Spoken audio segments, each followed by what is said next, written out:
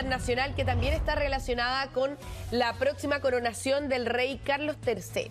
¿Por qué? Porque un hombre fue detenido en las afueras del Palacio de Buckingham y acusado de haber arrojado cartuchos de escopeta al interior del palacio. Está ahí precisamente en Londres. Qué bonito lugar. Sole Agüero, qué linda postal, Sole, a esta hora del mediodía ya, por allá, ¿no es cierto? Sole. Tú nos vas a contar más detalles. Buenos días. Sí. ¿Cómo están?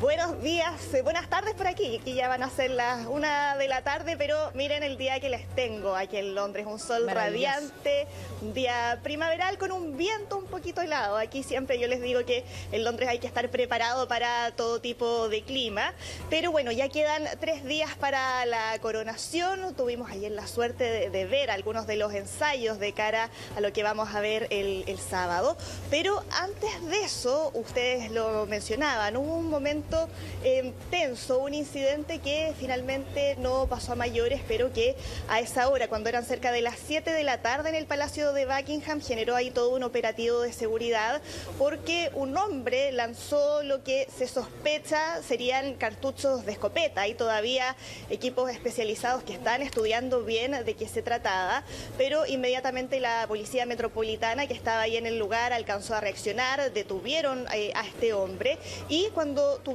ahí estos artefactos realizaron una explosión controlada en el lugar y esto ocurrió además a una hora en que no estaban eh, los reyes, no estaba Carlos ni tampoco la reina consorte Camila, sí habían estado hace algunas horas en ese lugar, pero después la policía llamó a la calma, dijo que no habían detectado ninguna intención terrorista detrás, sino que más bien tenían antecedentes de que este hombre, que era un hombre de 59 años aparentemente, ah, tenía antecedentes de problemas de salud mental, dijeron que había actuado solo y que finalmente quedó todo como un incidente aislado, pero que de todas formas ahí generó toda una preocupación en torno a la seguridad de cara a lo que va a ser el evento de Estado más importante aquí en Londres después de la muerte de la reina Isabel II y es por lo mismo que todos los equipos de seguridad están eh, desplegados ahora con un contingente especial para prepararse para lo que vamos a ver durante el sábado, Roberto. Sole, hace unos nueve meses atrás, cuando fue el funeral de la reina Isabel, había alerta roja en la ciudad, estaban todos los servicios secretos eh, de Reino Unido muy alerta ante una posible amenaza terrorista. Más allá de lo que pasó ayer con este hecho ahí en el Palacio de Buckingham, ¿cómo han sido las medidas de seguridad o el nivel de alerta que se está manejando en Londres? Porque siempre que hay un evento de este tipo, eh, surge la posibilidad de un atentado. ¿Cómo se lo han tomado los ingleses ahí? Sí, esto, los preparativos en materia de seguridad es algo que se viene ya pensando desde, desde hace meses. Tiene un nombre, de hecho, toda esta operación que se llama la Operación Orbe Dorado y lo que incluye ahora es el despliegue de 7.000 efectivos de seguridad. Muchos de ellos ayer llegaron hasta Londres para participar de, de un ensayo para responder frente a cualquier eventualidad. Pero claro, el nivel de alerta sí es máxima y todo esto ha ido acompañado de una serie de medidas, no solo el despliegue de efectivos de seguridad, también ese día eh, va a haber francotiradores arriba de los techos cercanos a la abadía de Westminster y al Palacio de Buckingham. Va a haber además una zona de exclusión aérea en torno al centro de Londres, algunos policías de civil que van a estar eh, infiltrados entre la multitud, porque lo cierto es que lo que dice Scotland Yard es que en los últimos años el nivel eh, de amenaza hacia las personas, ya sea políticos o eh, miembros VIP, como ellos lo, lo han llamado, ha ido en aumento y hay 200 personas que tienen ahora bajo vigilancia y hay todo un trabajo ahí muy acucioso de inteligencia detrás. Ahora, Sole, tú mencionabas que habías participado ya de los primeros ensayos. Hemos visto además que en la prensa internacional se retrata a las personas que ya están ocupando lugares a lo largo del recorrido para tener la mejor visión, estar en primera fila. Y eso en el marco también de los ensayos es algo de lo que han podido disfrutar, ¿no?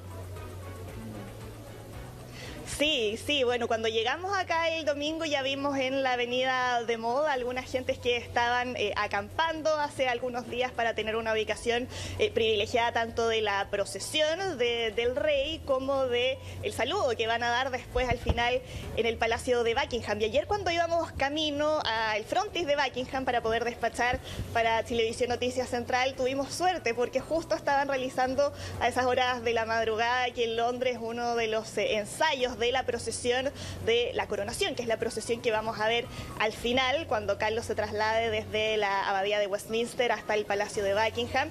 Y pasó frente a nosotros uno de los carruajes que vamos a ver el día sábado, que es el carruaje Gold State Coach, que es un eh, carruaje que se ha utilizado en todas las coronaciones desde hace más de 260 años. Se empezó con la coronación de Jorge IV, una coronación en 1821, pero ahora vamos a ver una diferencia con la última coronación, con la coronación de Isabel II el 53, porque en ese recorrido la reina había utilizado ese carruaje de ida y de vuelta. Ahora se va a usar solo de vuelta porque de ida va a ser un carruaje que es más moderno, que es más cómodo, que es el Diamond eh, Jubilee State Coach y que es un carruaje que tiene aire acondicionado y que es bastante más cómodo que el Gold State Coach, que es un carruaje que la reina en su momento dijo que había sido una tortura realizar ese recorrido, que además había sido un recorrido mucho más largo que el que va a realizar Carlos este, este, este sábado. Por lo tanto, ahí pudimos ser eh, testigos de parte de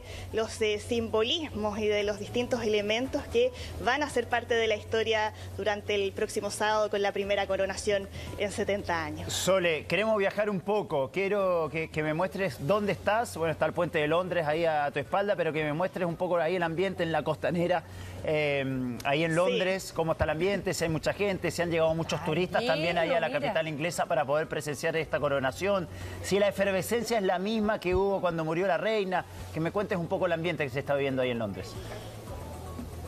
Sí, aquí estamos con Máximo Carrasco llevándolos aquí para mostrarles el ambiente que se está viviendo eh, en Londres con eh, la imagen del icónico puente de Londres, ¿no? Y los turistas que están aquí a un costado, acá está además la Torre de Londres, que es otro de los lugares importantes porque, como ayer les había mencionado, es ahí donde están las joyas de la corona, que va a ser las joyas que vamos a ver durante el día sábado, que hace algunos días ya las habían retirado aquí de la Torre de Londres para poder trasladar hasta la abadía de Westminster para la coronación de Carlos III. Eh, yo no tuve la suerte, Roberto, de haber estado aquí en Londres para la muerte eh, de, de la reina. Yo diría que la efervescencia no es tal como en esa oportunidad, porque claro, había multitudes de personas que habían llegado aquí a despedir a su monarca más eh, querida.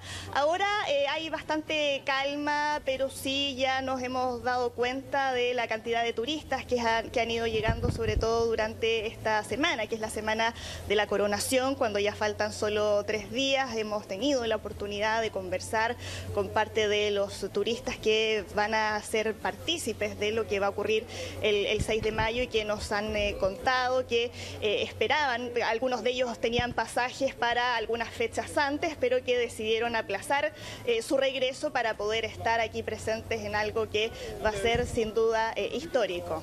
Claro que sí.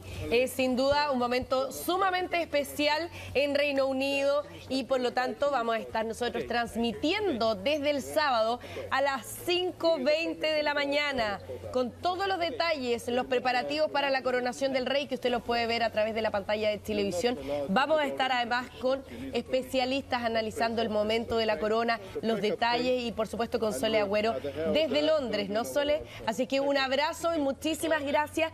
La invitación que extendía a todos para que nos sintonicen el sábado desde las 5.20 de la mañana. Gracias, Sole. Que estés bien.